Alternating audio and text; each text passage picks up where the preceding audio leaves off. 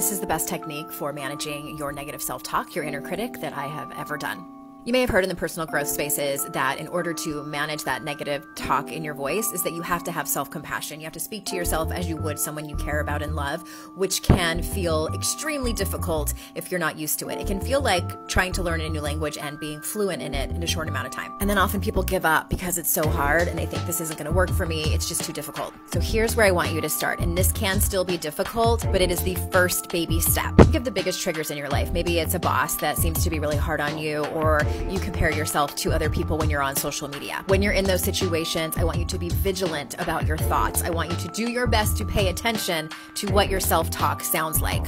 And then when you hear it, when you start beating yourself up, I want you to have a short, neutral mantra that you tell yourself in those moments. This is not a positive affirmation, nor is it you bullying your inner critic. It is something short and neutral, like stop, or I hear you talking, but I'm not listening to you today, or cancel, thank you for sharing.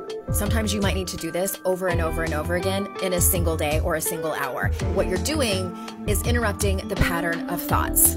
For many people, this small step can be the step that brings you to big changes.